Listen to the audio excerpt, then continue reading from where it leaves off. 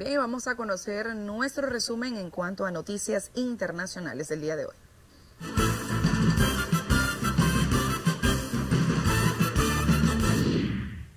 El Parlamento español se enfrenta este martes a una jornada decisiva. El gobierno socialista del presidente Pedro Sánchez presenta a la Cámara Legislativa ocho decretos aprobados por la vía de urgencia en el Consejo de Ministros, que deben ser convalidados por la mayoría de los diputados para salir adelante. Un bombardero supersónico Tu-22M3 ha sufrido un accidente este martes cuando aterrizaba en el aeropuerto de la región rusa.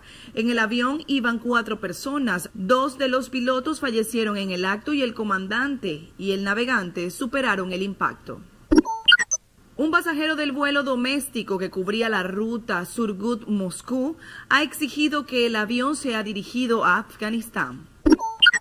Ronaldo, el exfutbolista del Real Madrid, ha acordado con la justicia española pagar una multa por un caso de fraude a la hacienda pública.